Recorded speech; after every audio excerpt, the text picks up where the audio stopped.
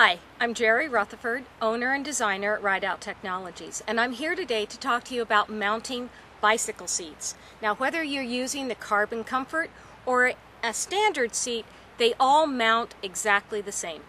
Regardless of your type of bike, the Carbon Comfort seat should fit on any bike. Let's take a look at the most common type of mount, the clamshell mount.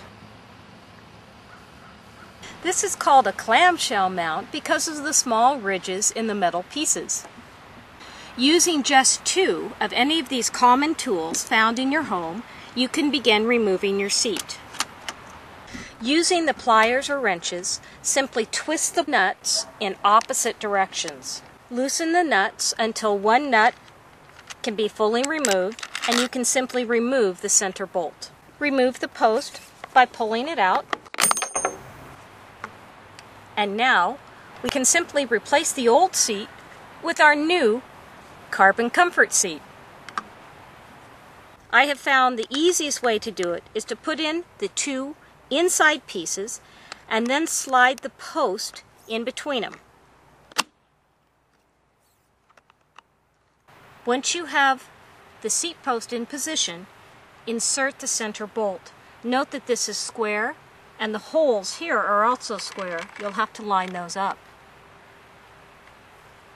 You can take the two outside pieces and mate them appropriately around the rails. Finger tighten the nuts.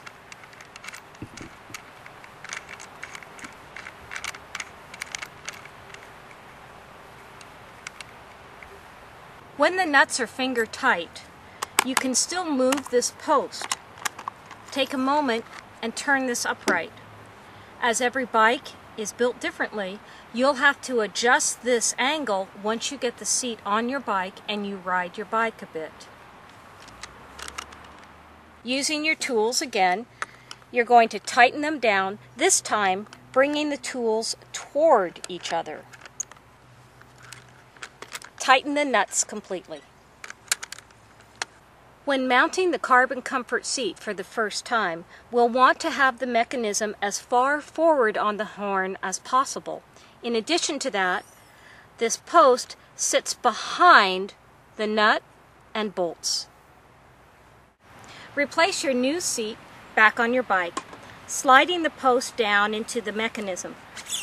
Remember to lower the seat about three quarters of an inch below where you had it before as this seat sits higher the Carbon Comfort Seat.